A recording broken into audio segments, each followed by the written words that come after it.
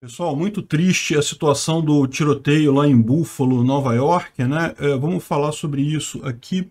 Realmente, é, a situação... Né? Teve outro tiroteio também numa igreja na Califórnia, Nova York, Califórnia.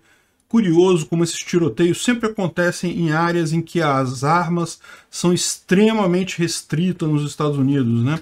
É muito mais raro ver um tiroteio desse tipo no Texas, ou Carolina do Sul, lugares que você pode andar armado à vontade. O pessoal tem medo de fazer um negócio desse nesses estados que o pessoal está armado, porque as outras pessoas estão armadas, né?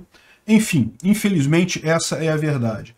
E o que aconteceu lá é realmente muito triste, um rapaz cujo nome não foi divulgado, ele está já em poder da polícia, ele entrou num supermercado de um bairro uma região que é predominantemente negra ali, começou a tirar as pessoas, pior, transmitindo ao vivo na Twitch. Tá? A Twitch transmitiu uma boa parte do, do que aconteceu lá ao vivo, uh, dele atirando nas pessoas, atirando friamente nas pessoas, e enquanto isso ele falava sobre o que a, a, a reportagem aqui fala ser uma teoria da conspiração do grande displacement, da grande troca, ou a grande troca, né? É, o que que, é, o que que significa isso na verdade? Né? Qual que é essa teoria? A teoria é muito simples, que as pessoas brancas, a raça, os europeus e os americanos têm poucos filhos por casal. Né? Na verdade, hoje em dia a taxa de fertilidade é, no mundo desenvolvido está em coisa de um ponto alguma coisa, quando o, o nível de equilíbrio deveria ser dois ponto alguma coisa. Né? Ao passo que populações latinas, negras e árabes têm uma taxa maior de reprodução. Então o que acontece é que essas pessoas é, acabam deslocando as outras, né? Essas pessoas vão para uma região, os filhos, os brancos não têm filhos, as outras raças têm um monte de filhos, e acaba que com o tempo aquela raça, aquela área deixa de ser uma área é, ocupada pelos brancos. Então, assim, é que existe esse movimento no mundo, eu não sei, não sei se dá para chamar isso de teoria da conspiração, porque é meio que uma, uma consequência matemática pura. Né? O, o que eu acho que é a teoria da conspiração é que isso é feito de forma proposital, que de alguma maneira as pessoas desincentivam os brancos a terem filhos e incentivam as outras pessoas a terem filhos, de forma que aconteça esse tipo de coisa. Isso eu não acredito. O que eu acho que é um fato é que realmente o pessoal, quando tem mais dinheiro, tende a ter menos filhos. Isso acontece aqui no Brasil também, nós somos latinos aqui. O Brasil já não repõe a sua população aqui no Brasil. E, e, o fato é esse, quando você começa a ter uma vida um pouquinho melhor, não precisa ser rico, não, não precisa ser vida confortável, não. Quando as pessoas estão na cidade têm uma vida um pouco melhor, elas já tendem a não a ter menos filhos. E com isso você acaba tendo, lógico, um, um fluxo de migração do interior para a capital, porque no interior o pessoal costuma ter mais filhos, né? Enfim, eu acho essa teoria que ele estava falando uma grande besteira. Mas o ponto central da coisa toda aqui é, é, é justamente, não dá para entender essa revolta. Ele está revoltado com o quê? Com a matemática? Com o fato dele não ter filho? Pô, se, o problema é filho, você está tá se matando à toa, pô. Vai lá e faz filho, é o que deve ser feito. Nesse caso, se você acha que isso é um problema. Eu, particularmente, não acho que é um problema nenhum isso daí. Isso aí, a, a sociedade vai acabar num outro ponto de equilíbrio em algum momento essas outras sociedades se reproduzem mais porque elas são mais pobres, essas outras raças se reproduzem mais porque são mais pobres, né?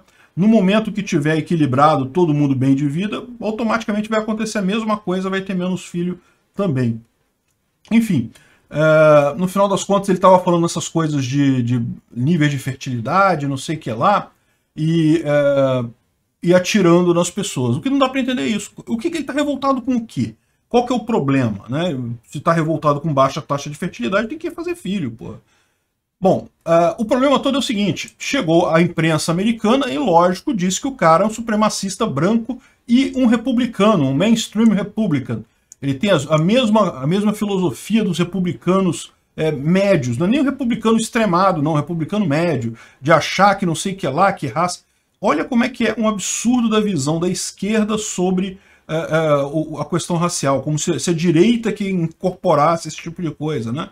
É o que eu falo, gente. Esse negócio do, do fato de pessoas brancas terem menos filhos e, e, outras raças terem mais filhos, isso aí é matemática, isso aí é estatística, não tem, não tem o que dizer em, em relação a isso, não tem o que, é, é, o que questionar e dizer que a teoria da conspiração não faz sentido. Eu entendo que a teoria da conspiração é mais do que isso, é achar que isso é feito de propósito que tem algum grupo jogando, sei lá, o hormônio na água para os brancos não terem filhos e favorecendo as outras raças. Isso eu não acredito.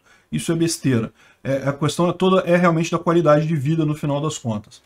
Enfim, uh, e aí a Rolling Stones falou não que ele é um republicano e não sei o que é lá, que é um supremacista branco, e é uma coisa, assim, aquele negócio querendo jogar culpa nos republicanos por isso daí, né? Só que o pessoal aqui levantou que o cara soltou um manifesto, né? Como tem sido comum, infelizmente, nesse tipo de situação, o cara soltou um manifesto, e o manifesto dele diz exatamente, olha só, você é, sempre teve esse ponto de vista, aí ele falou, olha só, quando eu tinha 12 anos, eu estava é, fundo dentro da ideologia comunista, Fale com qualquer um sobre a minha, na minha uh, escola e eles vão entender, eles vão te falar isso, que eu era muito comunista.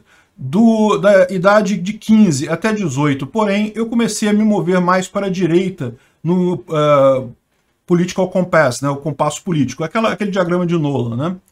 Eu, hoje eu caio na moderada, na, autori, na uh, esquerda autoritária moderada. Esquerda autoritária, ou seja, o cara se entende como de esquerda. Ele não é de direita, ele não é nem conservador, não é nada. Ele se entende como um comunista que migrou um pouco mais para a direita, para o autoritarismo é, da esquerda moderado. O cara de esquerda, sempre foi de esquerda, saiu do comunismo e foi para um, um, comunismo moderado, porque autoritarismo é, é, isso daí, é a mesma coisa. O comunismo é autoritarismo também, é o extremo do autoritarismo. Ele foi para um comunismo um pouco mais moderado, e é isso que, é, que ele está dizendo aqui, né?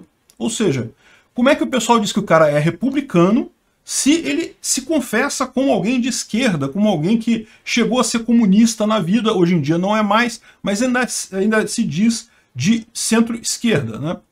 Enfim, não dá para entender, na verdade dá para entender sim, o que a esquerda, o que a, a grande mídia gosta de fazer é, se é uma coisa ruim, então é da direita.